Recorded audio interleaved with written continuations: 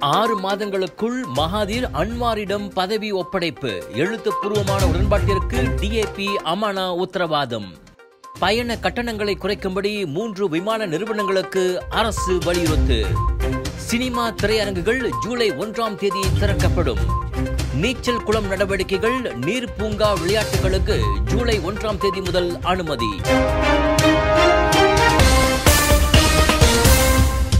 பிரதமர் பதவியை ஏற்று ஆறு மாதங்களுக்கு பிறகு டாக்டர் மகாதீர் பிகேஆர் கட்சி தலைவர் அன்வார் இப்ராஹிமிடம் அதிகாரத்தை ஒப்படைப்பதற்கான எழுத்துப்பூர்வமான உடன்பாடு கையெழுத்திடப்படும் என பக்கத்தான் ஹராப்பான் உறுப்பு கட்சிகளான டிஏபி மற்றும் அமானா கூறியுள்ளன. போதுமான நாடாளுமன்ற உறுப்பினர்களின் ஆதரவோடு புதிய கூட்டரசு அரசாங்கத்தை பக்காத்தான் ஹராப்பான் அமைக்குமானால் பிரதமர் வேட்பாளராக மகாதீர் ஏற்றுக்கொள்ளப்பட்டால் அடுத்த ஆறு மாதத்திற்குள் அன்வாரிடம் பிரதமர் பதவியை ஒப்படைப்பதற்கு இந்த எழுத்துப்பூர்வமான உடன்பாடு வழிவகுக்க முடியும் என டிஏபியின் தலைமைச் செயலாளர் லிம்கான் எங் மற்றும் அமானா தலைவர் முகமது சாபு ஆகியோர் கூட்டறிக்கையில் தெரிவித்துள்ளனர். ஆறு மாதத்திற்கு பின் அதிகார பரிமாற்றம் நடைபெறுவதை உறுதிப்படுத்துவதற்கு அனைத்து கட்சி தலைவர்களும் எழுத்துப்பூர்வமான உடன்பாடு ஆவணத்தில் கையெழுத்திட வேண்டும் என்பதோடு இந்த ஏற்பாடு குறித்து பகிரங்கமாக பொதுமக்களுக்கு அறிவிக்கப்பட வேண்டும் என்றும் லிம் குவான் எங் மற்றும் முகமது சபு கூறினர். இதன் வழி பிகேஆர் அமனா டிஏபி மற்றும் சபா அடிப்படையிலான வாரிசான் மற்றும் மகாதீர் தலைமையிலான பிர்சத்துவின் நான்கு நாடாளுமன்ற உறுப்பினர்களின் ஆதரவோடு பக்காத்தான் ஹரப்பான் வெற்றிக்கான இலக்கை நோக்கி செல்ல முடியும் என அவர்கள் கூறினர். அன்வார் பிரதமராக வர வேண்டும் என்பதில் தங்களுக்கு மாறுபட்ட கருத்து கிடையாது என்பதோடு இதற்கு தாங்கள் எப்போதும் முழுமையான ஆதரவை வழங்குவதற்கு தயாராக இருப்பதாகவும் லிம்கான் எங் முகமது சாபு தெரிவித்தனர்.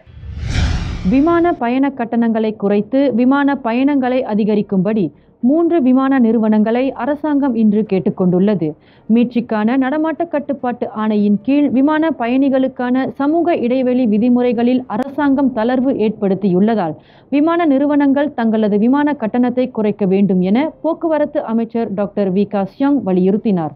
இது தொடர்பாக மலேசியா ஏர்லைன்ஸ் ஏர் ஏசியா மற்றும் மெலிண்டோ ஏர் விமான நிறுவனங்களுடன் ஜூன் பதினொன்றாம் தேதி போக்குவரத்து அமைச்சு பேச்சு நடத்தியது. தேவையை அடிப்படையாக கொண்டு விமான கட்டணங்கள் நிர்ணயிக்கப்படுவதாக விமான நிறுவனங்கள் அரசாங்கத்திற்கு தெரிவித்ததாக வி. காசியோங் வெளியிட்ட அறிக்கையில் தெரிவித்தார். பொருளாதார நிலைமை எண்ணெய் விலை மற்றும் விமான பயண நடவடிக்கைகளும் கட்டண விவகாரத்தை நிர்ணயிப்பதில் பங்காற்றுவதாகவும் அவர் சொன்னார். புறப்படுவதற்கு குறுகிய நாட்களுக்கு முன்னதாக விமான டிக்கெட்டுகளை வாங்கினால் அதிக விலையாக இருக்கும் என்பதால் தங்களது பயணங்களுக்கு முன்கூட்டியே திட்டமிட்டு கொள்ள வேண்டும் என்றும் அவர் கேட்டுக்கொண்டார் கோவிட் தொற்றிலிருந்து நாடு மீட்சி அடையும் இவ்வேளையில் வேலை மற்றும் இதர இடங்களுக்கு செல்வோருக்கு பெரிய அளவில் சுமையை ஏற்படுத்தும் அளவுக்கு விமான டிக்கெட்டுகளின் கட்டணங்களை அதிகரிக்க வேண்டாம் என விமான நிறுவனங்களுக்கு அரசாங்கம் நினைவுறுத்தி இருப்பதாகவும் வி காசியோங் தெரிவித்தார். சினிமா திரையரங்குகள் நாடக அரங்குகள் மற்றும் நேரடி நிகழ்ச்சிகள் ஜூலை ஒன்றாம் தேதி திறப்பதற்கு அனுமதிக்கப்படும் என தற்காப்பு துறைக்கான முதன்மை அமைச்சர் இஸ்மாயில் சப்ரி யாக்கூப் கூறினார். மூடப்பட்ட மண்டபங்கள் அல்லது கட்டடங்களில் செயல்படும் திரையரங்குகளுக்கு இருநூற்று ஐம்பது பேர் மட்டுமே செல்வதற்கு அனுமதிக்கப்படுகிறது. திரையரங்குகளில் அமருவோர் ஒரு மீட்டர் தூர சமூக இடைவெளியை பின்பற்ற வேண்டும் என இன்று நடைபெற்ற செய்தியாளர் கூட்டத்தில் இஸ்மாயில் சப்ரி தெரிவித்தார்.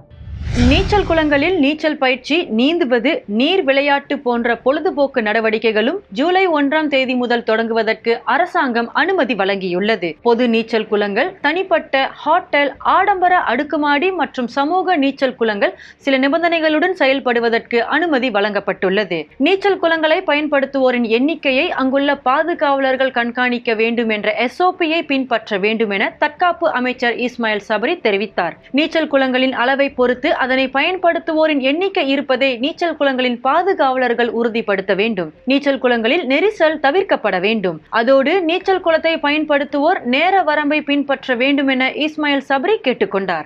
மேலும் பல அண்மைய செய்திகளுக்கு வணக்கம். மலேசியாவோடு இணைந்திருங்கள். எங்கும் எப்போதும் வணக்கம் மலேசியா. நான் Thiyagarajan Muthusamy.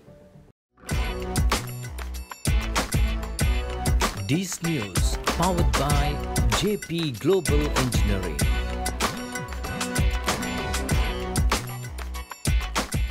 இந்த வீடியோ உங்களுக்கு பிடிச்சிருந்துச்சுன்னா மறக்காம வணக்கம் மலேசியாவோட யூடியூப் பேஜ் ஃபேஸ்புக் பேஜ் மற்றும் அகப்பக்கத்தை லைக் பண்ணுங்க ஷேர் பண்ணுங்க சப்ஸ்கிரைப் பண்ணுங்க.